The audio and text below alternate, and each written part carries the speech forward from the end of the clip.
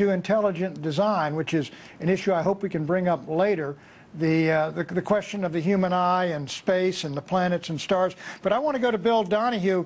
I mean, this is almost, this is determinism, predestination uh, to the nth degree, is it not?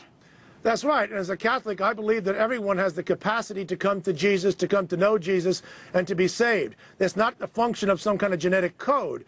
Uh, you know, we, this same guy came up with this idea of the gay gene, all right? I remember when that conversation was going on, gays were all of a sudden wor worrying if, uh, if people would start aborting uh, kids who they found out the DNA suggested that the, the, kid might be gay. You know, God forbid we run out of little gay kids. So all right. of a sudden they became pro-life. Now, here we have a situation where some of the atheists, they may want to have a, abort the kids if they thought, in fact, there was some type of religious inclined gene. God forbid they might have a kid who, who well, believed in what, God. Okay, let me get to Ellen Johnson. He seems to be saying, Ellen,